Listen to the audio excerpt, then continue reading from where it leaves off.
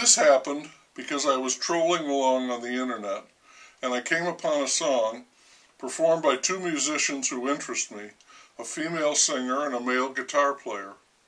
The song they were doing was a classic, Strange Fruit, made famous by Billie Holiday. It's a challenge to take on a song that is virtually owned by another performer.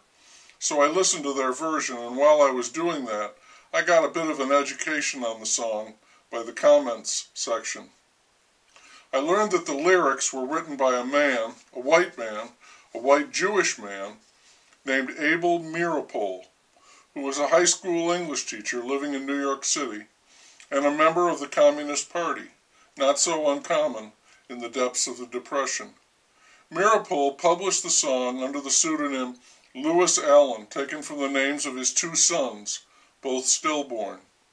I note that only to indicate the presence of tragedy in his life.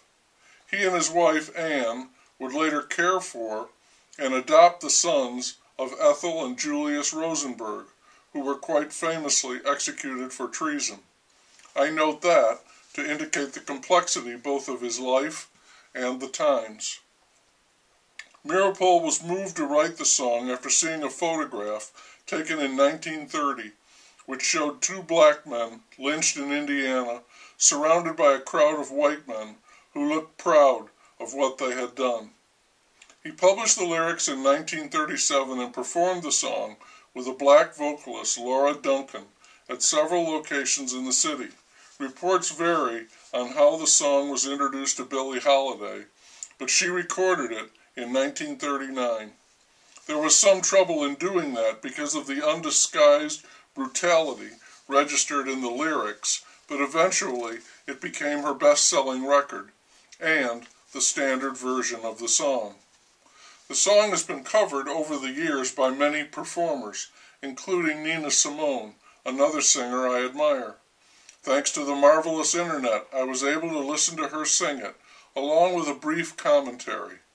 It deals with America and the black and white problem, she said. It is the ugliest song I have ever heard. It opens a wound completely. At the peak of her career, Nina Simone left the country and lived in France for the rest of her life. It is an ugly song, spawned by an ugly photograph of an ugly deed, pastoral scene of the gallant South. I don't think you can argue with Lady Day's stripped down heartfelt rendition, still available in several clips on the internet, but I think that the more modern version I heard was also excellently played. They killed it, as the saying goes, which you have to do with that song. All of the agony and the horror came out and the song itself still resonates.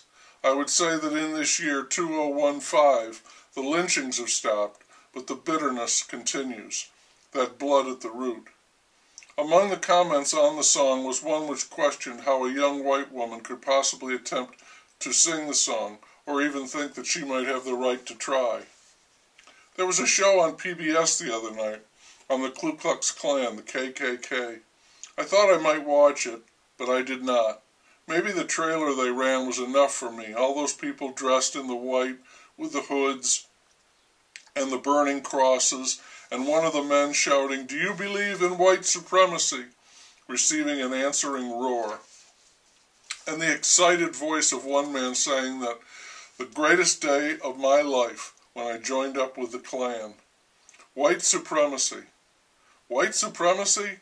I think Hitler was after the same thing with his Aryan deal, but he took a tough hit in the 1936 Olympics when Jesse Owens spoiled his party in Berlin. We hear a lot about Jackie Robinson in 1949. How conflicted must Jesse Owens have been in 1936, the year of his Olympic triumphs, and the year that Abel Meeropol wrote Strange Fruit? White supremacy? I think the best way to establish this would be to take a small group of people, let's say a dozen, as a sample out of the much larger group of the Klan, and examine them carefully for signs of supremacy over the rest of humanity. I have to believe that what we would find would be, if anything, supremely ordinary, something less than that, maybe a few who are slightly better, nothing of statistical significance.